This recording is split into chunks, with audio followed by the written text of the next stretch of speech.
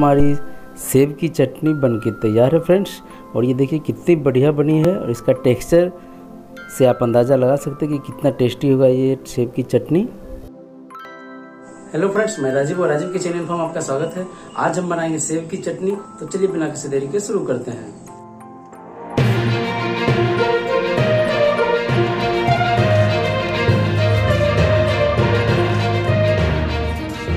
तो सेब की चटनी के लिए फ्रेंड्स हमने तीन सेब लिया ये वेट में लगभग डेढ़ सौ से दो सौ ग्राम के आसपास है।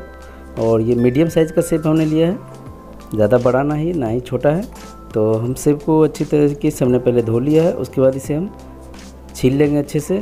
तो सेब को छीलने के बाद हम फ्रेंड्स, अब हम इसे, इसके दो टुकड़े काट के, इसे हम पतले पतले सेब में काटेंगे। तो ये देखिए, हमने सारे सेब को कुछ इस प्रकार से काटा है। और इसके जो बीच वाले, जो बीज वाले भाग हैं, उसे हम काट के निकाल देंगे। तो आप इसे इस प्रकार से आप कट करके निकाल सकते हैं। आप चाहे तो सेब कटर की मदद से भी आप सेब को काट सकते हैं, लेकिन मेरे पास अभी फ़िलहाल नहीं था तो हमने चाकू से ही काटा है। तो ये देखिए, हमने कुछ इस प्रकार से इसे काटा है और इसके सारे बीज को निकाल दिया है। तो आप भी इसी तरीके से सारे सेब को इस प्रकार से कट करके इसके बीच वाले भाग को निकाल लें। उसके बाद ये देखिए फाइनली हमने सारे बीज को निकाल दिया है। और अब कुछ इस प्रकार से हमने टेक्सचर इसका रखा है, आप चाहे तो किसी भी शेप में रख सकते हैं, लेकिन ज़्यादा पतला रखें ताकि अच्छे से ये पक जाए।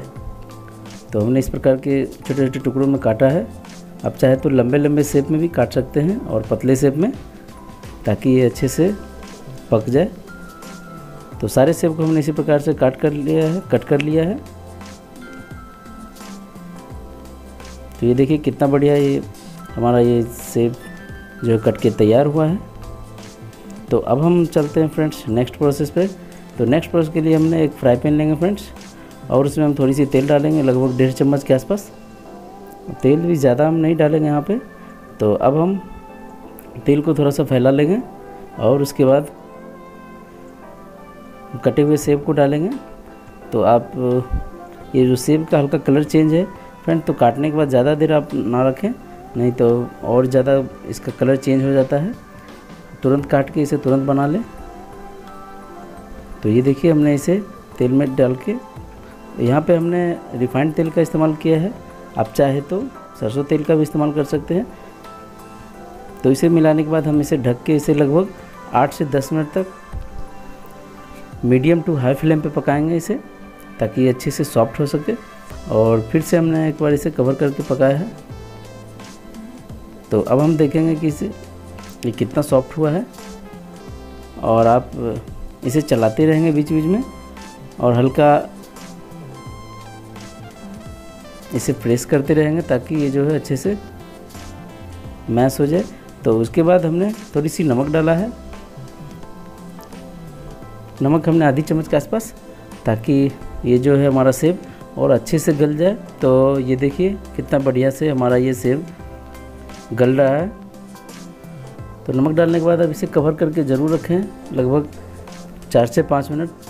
तो चार से पाँच मिनट रखने के बाद हम कुछ इस प्रकार से, ये देखिए कितना बढ़िया इसका कलर भी आ गया गोल्डन ब्राउन हो गया है। तो अब हम यहाँ पे चीनी ऐड कर लेंगे फ्रेंड्स चीनी हमने आधी कटोरी लिया है।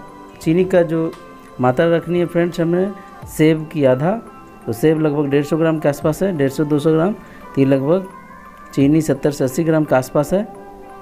तो इसी प्रकार से चीनी को डालने के बाद आप ये चीनी खुद ब खुद मेल्ट होके अच्छे से ये पिघल जाएगा। तो ये देखिए, ये कितने अच्छे से पिघल रहा है ये चीनी। तो इसी प्रकार से आप चीनी डाल के इसे चलाते रहेंगे। तो इसे चलाने से ताकि ये जो है अच्छे से मेल्ट हो सके। तो ये देखिए, इसमें इसमें जो पानी भी आ गया है। तो अब हम यहाँ पे आधी नींबू इसमें ऐड करेंगे फ्रेंड्स। नींबू इसलिए ऐड करेंगे ताकि हमारी जो चाशनी है, ये जो चीनी ठंडा होने के बाद जमे ना तो इसीलिए नींबू का प्रयोग करते हैं। नींबू का प्रयोग करने से बहुत हद तक कम हो जाता है चीनी का जमना। तो इसी तरीके से नींबू डालने के बाद ये देखिए, इसका जो कलर भी चेंज हो गया है। तो और अब हम यहाँ पे लाल मिर्च पाउडर इस्तेमाल करेंगे, क्योंकि ये जो सेब की चटनी है, खट्टी मीठी तीखी, बहुत ही बढ़िया ये बन के तैयार होती है। तो ये देखिए, लाल मिर्च पाउडर, आप तीखा आप अपने हिसाब से डालें। तो हल्का सा तीखा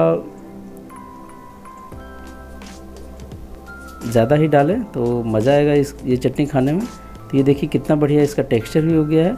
तो अब हम यहाँ पे थोड़ी सी इसमें पानी ऐड कर लेंगे फ्रेंड्स, ताकि ये जो है इसका थिकनेस थोड़ा सा पतला हो जाए। तो ये देखिए कितना बढ़िया इसका कलर भी आ रहा है और ये जो चीनी है, वो मेल्ट भी हो रहा है।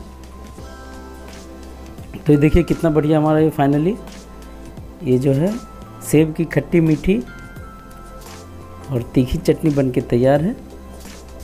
तो आप टेक्सचर देख सकते हैं ना। तो अब हम इसकी प्लेटिंग कर लेते हैं फ्रेंड्स तो ये देखिए कितना बढ़िया ये हमारा सेब का खट्टा मीठा तीखा चटनी बन के तैयार है। और आप इसकी थिकनेस का आप अंदाज़ा लगाएँ देख के कि ये कितनी गाढ़ी है।